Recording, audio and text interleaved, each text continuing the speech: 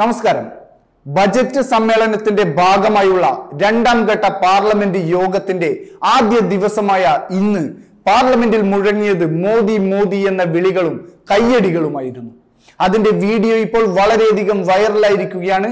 ആദ്യം തന്നെ ആ വീഡിയോ നിങ്ങളൊന്ന് കണ്ടു നോക്കുക.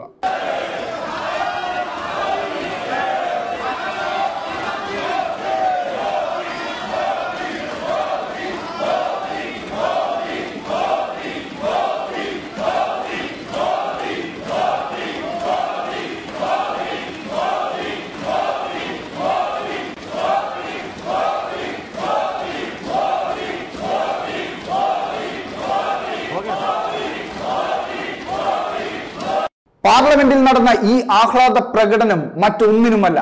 യു പി ഗോവ ഉത്തരാഖണ്ഡ് മണിപ്പൂർ സംസ്ഥാനങ്ങളിൽ നടന്ന നിയമസഭാ തെരഞ്ഞെടുപ്പുകളിൽ ബി ജെ പി വൻ വിജയം നേടിയതിനും യുക്രൈനിൽ കുടുങ്ങിയ ഇന്ത്യൻ വിദ്യാർത്ഥികളെ ഭാരതത്തിൽ എത്തിച്ച ഓപ്പറേഷൻ ഗംഗ എന്ന ഏതൊരു ഭാരതീയനും അഭിമാനമുളവാക്കുന്ന വളരെ ഉജ്ജ്വലമായ സർജിക്കൽ ഓപ്പറേഷന് ചുക്കാൻ പിടിച്ചതിനും പ്രധാനമന്ത്രി മോദിയെ ബി ജെ പി എം പിമാർ കയ്യടികളോടെ വരവേറ്റ വീഡിയോ ആണ് നിങ്ങൾ കണ്ടത്.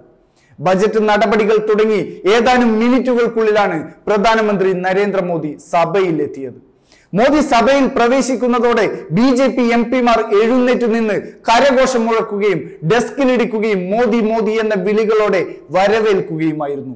മോദിയെ അഭിനന്ദിക്കുന്ന ബി ജെ പി എം പിമാരുടെ കൂട്ടത്തിൽ അമിത്ഷാ രാജ്നാഥ് സിംഗ് നിർമ്മല സീതാരാമൻ ജ്യോതിരാദിത്യ സിന്ധ്യ എന്നിവരും ഉണ്ടായിരുന്നു. ആസ്ട്രേലിയയിൽ നിന്നുള്ള പാർലമെന്റ് സംഘം സഭാ നടപടികൾ വീക്ഷിക്കാനെത്തിയ വിവരം സ്പീക്കർ ഓം ബിർള വിശദീകരിക്കുന്നതിനിടയിലായിരുന്നു മോദിയുടെ രംഗപ്രവേശനം.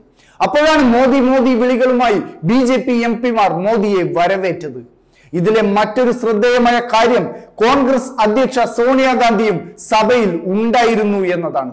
ബി ജെ പിയുടെ വൻ വിജയവും നരേന്ദ്രമോദിയുടെ ജനപ്രീതിയും കണ്ട് നിശബ്ദയായി നോക്കി നിൽക്കാൻ മാത്രമേ സോണിയാഗാന്ധിക്ക് സാധിച്ചുള്ളൂ.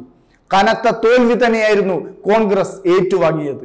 ഇനി ഒരിക്കലും കോൺഗ്രസ് കരകയറില്ല എന്ന് രാഷ്ട്രീയ നിരീക്ഷകർ ഒന്നടങ്കം വിലയിരുത്തുന്നുണ്ട്. എന്നിട്ടും കോൺഗ്രസ് അധ്യക്ഷ സ്ഥാനം ഒഴിയാതെ ആ പദവിയിൽ കടിച്ചു തൂങ്ങിയിരിക്കുന്ന സോണിയാഗാന്ധി ഇടിവെട്ടേറ്റവന്റെ തലയിൽ തേങ്ങ വീണു എന്ന ചൊല്ലു പോലെയാണ് മോദിക്ക് ലഭിച്ച സ്വീകരണം കൺമുന്നിൽ കണ്ടുകൊണ്ട് നോക്കി നിന്നത്. കോൺഗ്രസ് മുക്ത ഭാരതം എന്ന സ്വപ്നം ഉയർത്തിക്കൊണ്ടുവന്നത് തന്നെ നരേന്ദ്രമോദിയാണ്. ഇപ്പോൾ ബി ജെ പി ആ ലക്ഷ്യത്തിലേക്ക് ഏതാണ്ട് എത്തിക്കഴിഞ്ഞിരിക്കുന്നു. വർഷങ്ങളായി ഭാരതം ഭരിച്ച് നശിപ്പിച്ച കോൺഗ്രസിനെ ഇനി ജനങ്ങൾ തിരഞ്ഞെടുക്കില്ല എന്നത് തന്നെയാണ് ജനങ്ങളുടെയും ഉറച്ച തീരുമാനം. അത് തന്നെയാണ് കഴിഞ്ഞ തിരഞ്ഞെടുപ്പിലും വ്യക്തമായത്. തകർന്ന് തരിപ്പണമായ കോൺഗ്രസിനെ നോക്കി നെടുവീർപ്പിടുമ്പോൾ മോദിക്ക് ലഭിക്കുന്ന സ്വീകരണവും ജനസ്വീകാര്യതയും കണ്ട് പൊട്ടിക്കരയാനായിരിക്കണം സോണിയാഗാന്ധിക്ക് തോന്നുന്നത്. ജനങ്ങളുടെ കൂടെ നിന്ന് ജനങ്ങളെ സേവിക്കുന്നവർക്ക് മാത്രമേ ഭാരത രാഷ്ട്രീയത്തിൽ നിലനിൽക്കാനാവുകയുള്ളൂ എന്ന് നരേന്ദ്രമോദിയും ബി വീണ്ടും വീണ്ടും തെളിയിച്ചു കൊണ്ടിരിക്കുകയാണ് വെബ് ഡെസ്ക് തത്വമൈ ന്യൂസ്.